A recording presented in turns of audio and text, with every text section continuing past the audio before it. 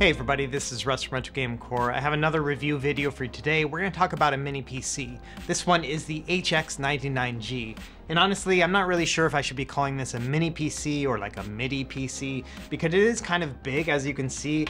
It does take up a little bit more space, but I do like the fact that it has this little stand right here, which when you put it on your desk doesn't take up a lot of space. And so I think altogether, yeah, maybe let's just call it a mini PC. Now I've reviewed a lot of mini PCs on this channel. In fact, I've probably done about 20 at this point, but I've kind of slowed down over the past couple months. And so let me explain why that is here really quick. Number one is the fact that after getting through a lot of my preliminary reviews, I didn't have a lot to say about mini PCs in general because they were all so very similar. I've even gone back and made a spreadsheet to kind of go over every single mini PC that I've reviewed at the different price points and what kind of performance you can expect. And so that kind of just sums up everything and as you'll see, in each of the different price points, it gets very similar. And so there was a point a couple months ago when I was making a review and I thought to myself, I'm a little bit bored with this whole process, and if I'm bored with it, then the viewers might be as well. So I wanted to spice things up a little bit as well. And so the biggest thing for me was that I started to change up when it was I was going to accept a mini PC to review. And so after a lot of consideration, I've decided to kind of put them into three different chunks. The first one is going to be those that are at the very low price model. I really like the idea of having a mini PC that you don't spend a lot of money on, but get some surprising performance out of it. And so that's always going to be a category that I think I'll be interested interested in. The nice thing about that lower price point is that as the years go on, we get better performance for same or lower prices, and so that's really exciting to me. The second category for me is going to be what I call like the value tier. That's going to be between 300 and maybe $500.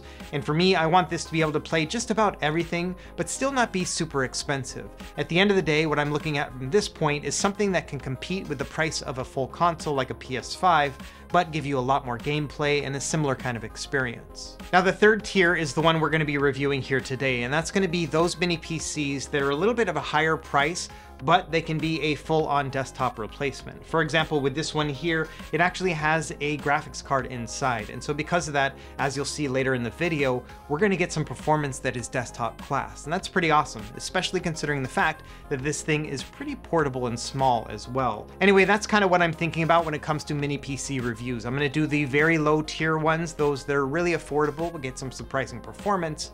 Then also that middle tier, which is basically a console replacement. And then finally our high-end tier, which I would consider to be a PC replacement.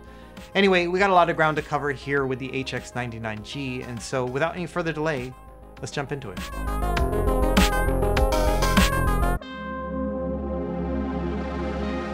Okay, to start, let's talk about pricing. Now, it was $980 for the review model that I'm looking at here today. That comes with 16 gigs of RAM and 512 gigs of storage. If you have your own RAM and storage, the price will go down quite a bit, $840 for the bare bones package. And of course, if you want to go all the way, you can get 64 gigs of RAM and a terabyte of storage for about $1,200 altogether. Now you can order this directly from MinisForum, but they also now have this one available on Amazon. And at least as of recording this video here, it's $1,269, but with a $250 coupon. Additionally, that price is for the 32 gigabyte RAM model. This is actually cheaper on Amazon than it is on their website right now. So I would recommend shopping between the two to find the best deal. Now, in terms of specs, they have this all outlined on their website, and they kind of explained it better than I could. But let's go ahead and point out some of the basics. Number one, we have the AMD Ryzen 9 6900HX CPU. Now, this does have its own inbuilt graphics, but like I mentioned before, this has its own graphics card as well. It's using the Radeon RX 6600M, which is a laptop graphics card. Additionally, they've gone all out when it comes to connectivity, so we have an M.2 slot that is PCIe 4.0. In addition, the RAM is dual channel DDR5 and clocked at 4800 MHz. And when it comes to mini PCs, these are the fastest components you can get right now. This also comes pre-installed with Windows 11 Pro, and one of my favorite things here is that they've upgraded the back I.O. On the HX90G, which I reviewed a couple months ago here on this channel, it had two display ports as well as two HDMI ports. And one of my biggest complaints was the fact that it didn't have USB-C ports on the back. And what they've done here is they swapped out those display ports for two USB 4 ports instead. And these USB 4 ports are capable of video out, so we're going to be able to get 8K resolution at 60 Hz from those. So I would say that's a really nice upgrade overall. And if you want to read more about the specs and the differences between these two models, I'll have this all linked in the video description below. But I think we should move over to the sexy stuff, which includes the unboxing and impressions. Number one, the box here is pretty darn big, but again, this mini PC is rather large too. Inside, we will get a quick manual that'll go over all the components and how to disassemble everything. Additionally, inside, we have a rather large power supply. This is 262 watts altogether, and physically, it's also pretty large too. So not the most travel friendly of power supplies, but all the same, it packs a lot of wattage as well. Also inside, you'll get the HDMI cable and then also the stand that I showed here in the intro. This has a carbon fiber design to it. Honestly, it looks more like a race car than a stand for a mini PC. Anyway, it also comes with the screws and the attachment for the stand. And this is what it looks like right here. The front is well ventilated with two fans, but then each of the sides also have some good ventilation as well. On the front, we have some I.O. that is relatively basic, but also very functional. We've got a power button, then a USB-C 3.2 port, and then also dedicated microphone and headphone jacks here on the front. And then finally, we have a USB-A 3.2 port and a very small CMOS reset button. I would say the overall design here is pretty busy. We have these hexagon shapes along each side, and then everything is flanked by that carbon fiber design as well. And like I mentioned, there's quite a bit of ventilation on each of the sides too. Let's take a look at the back. We have the power port right here, and then we have two HDMI ports capable of 4K at 60 Hz. And like I mentioned, they've upgraded to USB 4 ports right here on the back. And then finally, we have three USB-A 3.2 ports and then the 2.5 gigabit Ethernet port. Now to tear it down, you're going to have to remove these rubber pads right here, which will reveal four different screws on the bottom. And these are just Phillips head screws and come right out. From there, you can pop off the plastic cover by pulling on one of the corners. And from there, we will find a metal bracket secured by four Phillips head screws. Now we can finally get a glimpse at the back of the motherboard. One thing you may notice is that they're using a heatsink here with both RAM sticks. And I've heard there's been issues with other MinisForum PCs and that the RAM has been getting too hot. Additionally, as usual, they have a heatsink on the M.2 drive as well. And then finally, we have our Wi-Fi and Bluetooth chip right here. Now looking at the RAM sticks, you can see that there is some thermal paste right here, but if we peel it off, you can see we are using Kingston RAM. For the Wi-Fi and Bluetooth chip, they're using the typical MT7921K, which means it's capable of Bluetooth 5.2 and then Wi-Fi 6E. And just to verify with the M.2 drive, yes, 512 gigs and Kingston branded as well. Now on this side of the motherboard, we also have another M.2 drive right here. And so if you wanted to expand the storage, it's going to be relatively easy to do. And really that's about it when it comes to expansion. So there's no SATA drive slot or anything else like that. Now this device can lay on its side, but installing the stand is very simple too. You're going to use five screws to attach the bracket to the PC, and then another four screws to attach the stand to the bracket. And this is what it looks like right here. It has a bit of an aerodynamic design to it. Honestly, I'm not a huge fan of that. It just feels more like a spaceship than a computer. But to each their own, and it does work pretty well. Now, in terms of sizing, this is a relatively large mini PC. As you can see here, it's about five sticks of grass-fed butter altogether. For a more useful comparison, here it is on my studio desk. This is a 32-inch monitor, but as you can see right here, yeah, it doesn't take up a lot of space at all on the desktop. And of course, if you wanted to get creative, you could fasten it to the bottom of the desk and you wouldn't even see it at all. Either way, as far as mini PCs go, especially those with discrete graphics card, this is one of the smallest you can find today. And I think it does look pretty clean here on the desk. Now as another comparison, here is a table or gaming shot. This is a 26 inch screen right here. And as you can see right here, it's still relatively small. In fact, it's quite a bit smaller than say something like the Xbox Series S. And so if you wanted to have this set up next to something like your Xbox or PS5, it would be much smaller than those and quite powerful at the same time. For example, right here, I'm playing Red Dead Redemption 2 at 1080p with balanced settings, and we're getting way over 60 frames per second. But I'm getting ahead of myself when it comes to gaming performance. Let's do a couple benchmarks first. Number one, I like to look at the idle thermals. So as you can see right here, we're getting about 45 degrees Celsius when not under a heavy load. But when using Cinebench, which is a CPU intensive task, this is going to push all the CPU cores to 100%. And after about 5 minutes right here, you can see the temperature readouts are about 74 degrees Celsius at max. And that's actually an impressively low number for the amount of load that we're putting on the machine. And there's a few things at play when it comes to the cooling system. Number one, we have those two fans I showed earlier, but then also they have a huge heatsink inside and then seven copper heat pipes as well. And to top that off, they're using liquid metal for their thermal cooling. And so with all these combined, we are getting some very good cooling for this small PC. And in addition, the device still runs very quietly. Let me give you a test right here.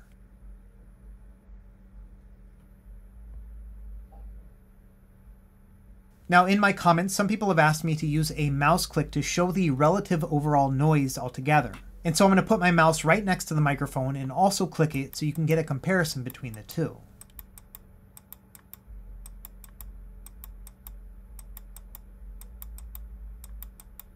So yes, I would say this is a very quiet mini PC given the amount of power that we have inside. Now, after the 10 minute Cinebench test, you can see the overall score here is 13,161. Now, those numbers might not mean anything to you, they certainly don't mean anything to me, so let's do a quick comparison here. And so here's my footage from the HX90G Cinebench from a few months back. Number one, we can see that the overall temperature readings are much higher. In fact, we're getting 90 degrees max on the CPU load. And this is even running at 45 watts, so 10 watts lower than the HX99G. And between the two, the overall score is just about the same. We got 13,207, so a little bit higher. Now for today's HX99G, I also did a Time Spy score. You can see here it's 8217. And again, I'm not a huge benchmarks guy, but that is a pretty respectable score. If you compare it to the HX90G, you can see it's about 100 points higher. Now for me, I always find that practical use is more important than benchmarks, so let's get into that. To start, one of the things I like to do is to do a video editing test. What I do is I take one of my older videos and then I crunch it up a bunch and move things around, then add all sorts of effects until I get a one minute video. From there, I'm going to export it using the standard 1080p YouTube standards of 60 frames per second, and then I like to look at how long it takes to render altogether. For me, it's a win if it can edit the video in under one minute. And as you can see here, it was a piece of cake for the HX99G. We actually rendered it in 29 seconds altogether. And so for me, that's an indication this is going to be a very good productivity machine, be it for video editing, photo editing, or maybe music production. But of course, this channel is about gaming, so let's go into that next. We're going to start with PC gaming and start with the easier games and work our way up. And we're also going to keep things to 1080p and see how we can max the performance from there. With the easier games like Hades, we're getting close to 600 frames per second at 1080p on high settings. And even something like a competitive shooter like Counter-Strike Go will get an average of about 150 to 200 frames per second. Moving over to more story-driven games, something like Bioshock Infinite can play at 1080p with very high settings and get a solid 60 frames per second. And if we crank up the settings to Halo Reach, we're going to get an average of about 150 frames per second here. I was also surprised to find that in Nightmare settings at 1080p, Doom Eternal runs like a champ. In fact, we're getting about 150 frames per second here too. And same story with Resident Evil 3 at 1080p with a mixture of medium to high settings for optimal performance. For this, I would say an average of 200 frames per second is not out of the question. Now granted for these games, you're probably not going to want to play them at these high frame rates, but it does give you an indication that you can probably play these games at 1440p and maybe even at 4K. For some of the games that are still hard to play by today's standards, something like Elden Ring, we can still play at 1080p with high settings and get 60 frames per second. And same thing with Control, which is harder to play at these higher settings, but at 1080p medium settings, we're getting 60 frames solid. Even games that I would consider to be previous benchmarks, something like Hellblade or Rise of the Tomb Raider, these can play at 1080p with high settings and still get very good frame rates here too.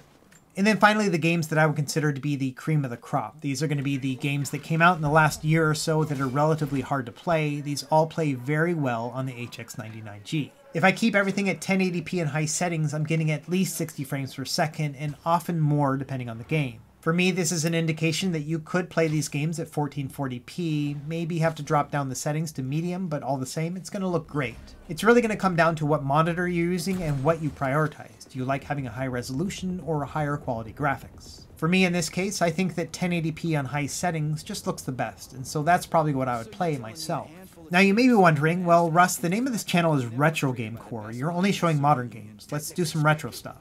And your wish is my command. So we're going to start with some emulation, but we'll start with GameCube and move our way up from there just because everything else is going to play like a dream. And honestly, even GameCube plays really well. For example, here with F-Zero GX, I'm playing at a 6x resolution. That's actually a little bit higher than 4K, but as you can see, it's running smooth as butter. And so I'm very comfortable in saying here that you can play any GameCube game at a 5x resolution, but probably 6x for most.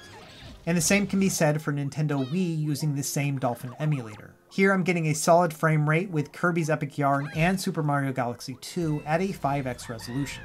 So this is not quite 4K, but all the same, it's very close. And it's a similar story with PlayStation 2. For these really hard to play games like Burnout Revenge and even Champions of Norrath, I was able to play them at a 5x resolution. Now, not all the games are going to play perfect like this. For example, God of War 2 played the best at a 3x resolution or 1080p. Either way, you're going to play every PS2 game here at at least 1080p, but most of them will be very close to 4K. Moving over to Nintendo Wii U, I also upped the resolution to 4K for certain games, and like with Wind Waker HD as well as Twilight Princess, these played at full speed. Now these natively played at 30 frames per second, but even the other Wii U games I played tested really well. A good example here is Zelda Breath of the Wild. I'm running this at a 1080p upscale, but then also I turned off the frame rate limit, and as you can see here, we're getting an average of about 75 or 80 frames per second.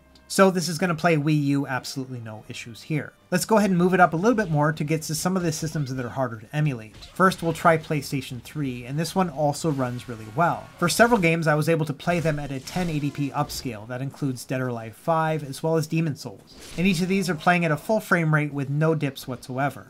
Now, many other games are not compatible with an upscale, it actually will break some games, and so with others, like Devil May Cry, I had to drop it down to a native resolution. But even then, we're still getting a full frame rate with DMC, and the same can be said with Ridge Racer 7 as well as Prince of Persia. And so I'm comfortable in saying here that if a game plays well with the RPCS3 emulator, it's going to play well on the HX99G. In fact, even those higher tier of games that are hard to run, like Ratchet & Clank Quest for Booty, I was actually getting a relatively stable 60 frames per second, which is almost impossible with this game. It would dip down to about 58 frames per second here and there, but for me personally, I would call this a perfect gameplay experience. Next, let's try a couple of the problematic emulators. We'll start with Xbox using the Xemu emulator. We'll start with a 3x resolution with certain games like Crazy Taxi 3 and Dead or Alive 3. And I would say that the gameplay here is relatively smooth, but I did see some drops here and there. Either way, I would be comfortable playing it at 3x resolution right here. Now moving on to harder to emulate games like Halo 2, I was surprised to find here that this actually kept a pretty stable 30 frames per second. This game is notoriously hard to emulate on the Xemu emulator, but honestly, this looks pretty good. Now, personally, I would just play this with the Master Chief Collection on PC, but all the same, if you want to emulate the original, I think this is going to be worth it. But of course, it's not going to be perfect. For example, compatibility with the Xemu emulator still leaves a lot to be desired, and I was surprised to find that some games that usually play pretty well, like Panzer Dragoon Orta, actually struggled at a 2x resolution. So it's not going to be perfect Xbox emulation, but it's pretty darn close considering what we have to work with. Moving forward is the Xbox 360 emulator Xenia, and I'm using the Canary build right here at a native resolution, but here I found pretty good performance as well. For the most part, your biggest issue is going to be compatibility because many games don't work with this emulator, but the ones that did kept a pretty stable 30 frames per second and maybe a dip down to 29 here and there. Either way, I would say games like Gears of War, Crackdown, and even Project Gotham Racing 4 are all going to be completely playable. Okay, moving on to the high tier of Nintendo systems, we'll start with Nintendo 3DS. Here I'm using the Canary build of Citra and we're going to run it at a 4x resolution. And this is just a little bit shy of 1080p on both of the two screens. And overall we're getting some pretty good gameplay. I would get some dips here and there when shaders were caching, but other than that, yeah, I would say this is perfectly playable at a 4x.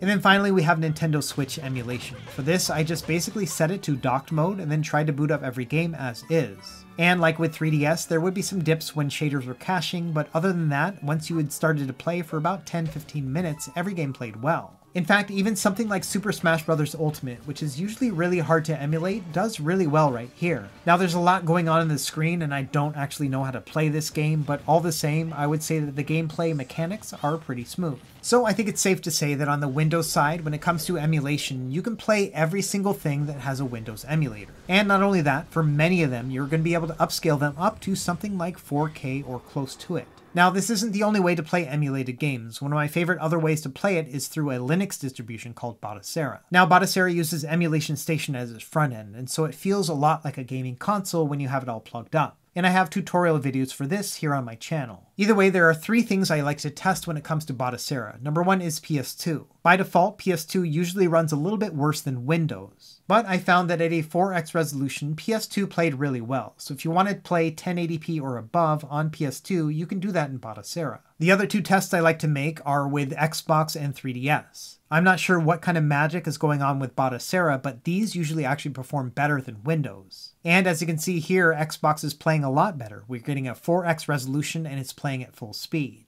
And same thing with Nintendo 3DS. We're actually getting a 6x resolution and it's still playing really well. And so if you wanted to use a USB flash drive to turn the HX99G into a gaming console, you could totally do that.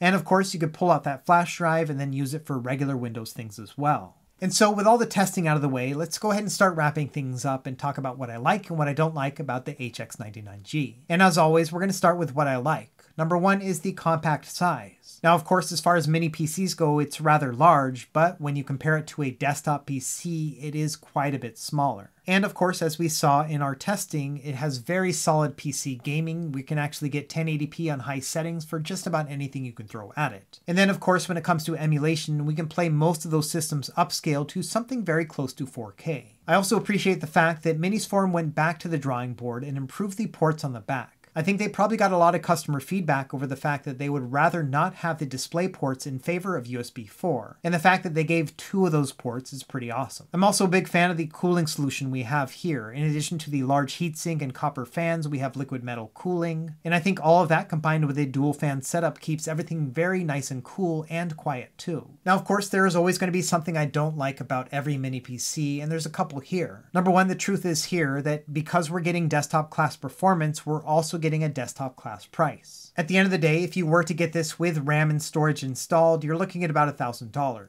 And for that amount of money, you can get quite a good desktop PC. But of course, the main draw here is it's going to be a fraction of the size of one of those larger PCs. And so if space is at a premium for you, it is going to come at a cost. And then finally, I'm just not a huge fan of the aerodynamic design that they're using with the HX line. And I totally get it. Some people like to have a PC that looks very gamery, but for me, I don't really like that. I like a more industrial design altogether. And so this may not be something that bothers you, but it was a nitpick for me. In the end, I think there's a lot to like about the HX99G, and this is probably one of the best mini PCs you can buy at this price point. Now, if you're really strapped for cash, you could get something like the HX80G, and that's going to be quite a bit less expensive. But it is still going to come with discrete graphics, and so when it comes to PC gaming, you should get some pretty good performance out of that one too. But I would say that the upgrades that are available in the HX99G, which includes a more powerful CPU and those two USB 4 ports on the back, means that this one's going to last longer in the long run. In the end, you're probably wondering, do I recommend the HX99G? And I would say yes, I recommend it, but only for specific use cases. Number one, if you're looking to replace a full-size desktop PC and you don't want something as large, then I think this is going to be a very good choice. I think if you go into this with the understanding that you can get more power for $1,000, but it's going to come at a larger size premium, then yeah, the HX99G is going to be a good product. And additionally, I do think it is worth that upgraded cost over the HX80G. After all, this one's going to be more future-proof. However, if you're looking for a mini PC that's a little bit more value price, then you can definitely still get more bang for your buck at those smaller models. Now granted, you won't get the same level of performance, but all the same, you are going to save a lot of money that way too. Either way, there's a lot of choices out there, and I'll leave my spreadsheet linked in the video description below so you can compare them against the others. But at the end of the day, I think the HX99G is a very good premium mini PC. So let me know what you think in the comments below. Is this the right price point for you, or would you prefer something a little bit cheaper and less powerful? As always, thank you for watching, and be sure to like and subscribe if you found this helpful, and we will see you next time. Happy gaming.